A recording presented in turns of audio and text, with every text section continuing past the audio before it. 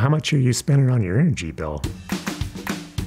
Since joining OhmConnect, I've earned $372. I don't think I was using electricity efficiently until I joined this program. I can dial it in with my cell phone.